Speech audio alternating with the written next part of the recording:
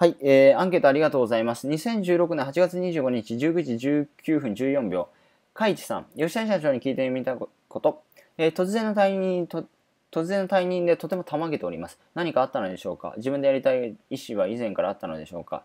えー、いずれにしても、千田さんの群門が外れるということですね。新しい旅に応援しておりますと。ありがとうございます。はい。うーん。突然の退任というか、まあまあ、まあ、これはまあ、お客さんには突然かもしれないですけど、結構ずっとあったんで、そういう話っていうのは。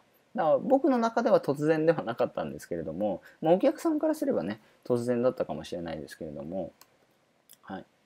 まあ、あの、新しいとこ、鹿児島で頑張っていきますし、まあ、僕のスタイルっていうのは変わりませんし、まあ、今後もずっとネットビジネス、情報発信、えー、ノウハウ、セミナー、まあ、何でもこうやってきますし変わりませんので、はい、ぜひですね応援しておりますということなので、まあ、ぜひですね商品を買っていただけると嬉しいかなと。応援していただいてるんだったら商品買っていただけると嬉しいかなと思います、はい。